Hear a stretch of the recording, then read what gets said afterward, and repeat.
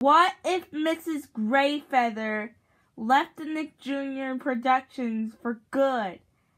And who would replace her?